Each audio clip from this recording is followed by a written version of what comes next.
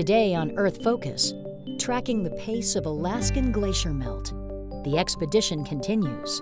Coming up on Earth Focus.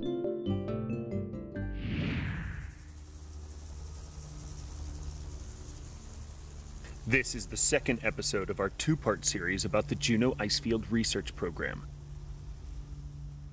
Now that the researchers have been trained in glacier safety and crossed into the heart of the ice field, they are shifting their focus to the scientific research projects here on the world's fifth largest ice field. Returning every summer since 1946, the program, also known as JIRP, has collected the longest running glacial climate record in North America. To be on the Juneau Icefield is a fantastic experience for me. I'm part of a, a major program that monitors mass balance of an important uh, glacier and in addition it gives me the opportunity to try and contribute to uh, the scientific development of young scientists. Mass balance indicates the health of a glacier. A positive mass balance means that the glacier is growing. A negative mass balance means that it is shrinking. The older a mass balance record is, the more valuable it becomes. Long running studies provide a historical average against which this year's data can be compared, showing how the climate has changed and what may happen in the future. The mass balance data that's been collected by the JIRP program is an extremely important record because it goes back as far as 1946. And there are probably only about 30 um, glaciers in the world that have been monitored for mass balance for um, 10 or more years.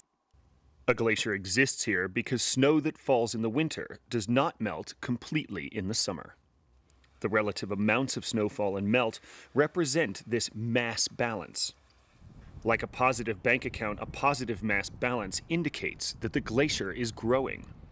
On the flip side, if the glacier has less snowfall and more melt, the glacier becomes smaller. So, how have generations of scientists come to grips with the estimation of the health of this 3,900 square kilometer ice sheet? They dig a lot. I'm working with the Juneau Icefield Research Program to understand a bit more about the mass balance of this vast source area of glaciers. Glaciers can tell us a lot about how our climate is changing, and right now the glaciers of southeast Alaska are disappearing. 95% of them are downwasting glaciers. That means that they're getting smaller and contributing to global sea level rise.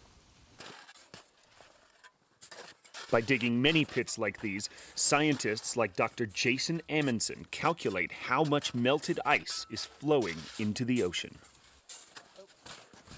When the glaciers or ice sheets retreat, they, you know, one thing they do is they contribute to sea level rise, but they also affect atmospheric circulation patterns, which propagates downstream and affects other things. Um, there'll be changes in amount of freshwater runoff into the ocean, which will affect the, the ocean properties, um, which could affect the, the marine life.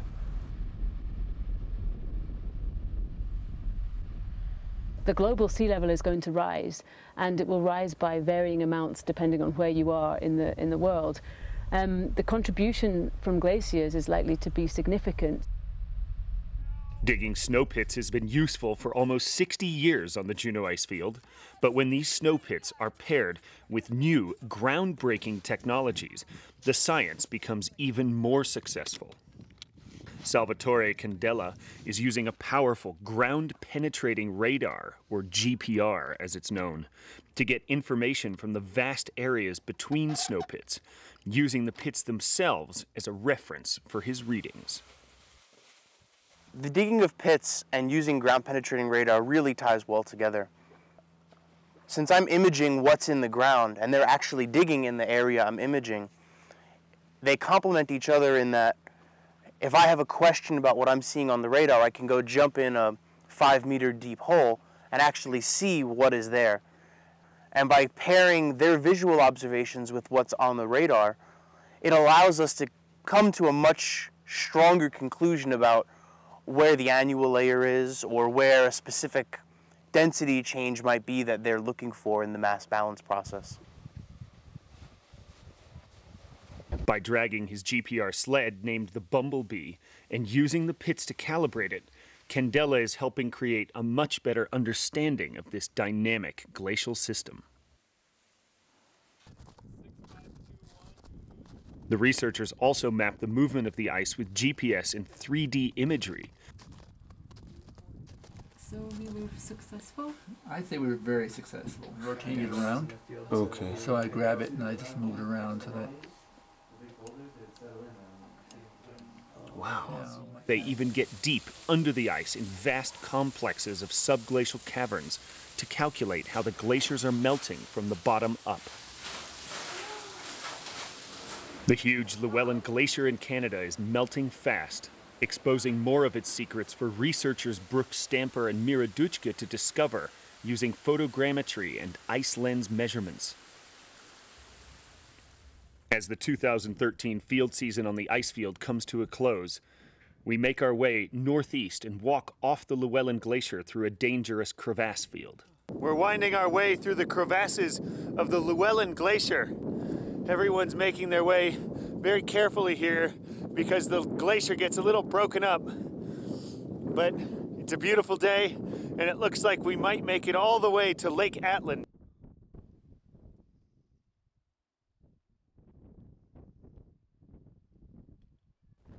We struggle down through this dusty and blowing, newly uncovered ground where the vast Llewellyn has melted, and finally we make our way down this long valley to Lake Atlin. Here, we're picked up by a boat and start deciphering the data and working it into the scientific literature where researchers around the world can use it to fine tune their climate change predictions. From the Glaciological and Arctic Sciences Institute on Lake Atlin, British Columbia, this is Jeffrey Barbee, reporting for Link TV.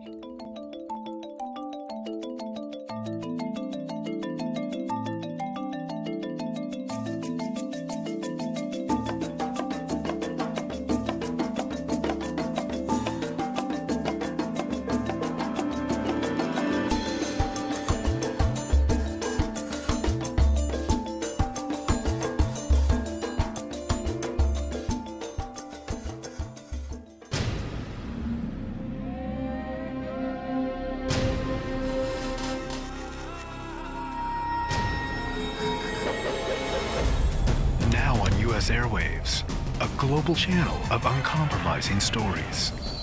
World news, documentaries, entertainment, and culture. Link TV, connecting you to the world. For more information, visit linktv.org.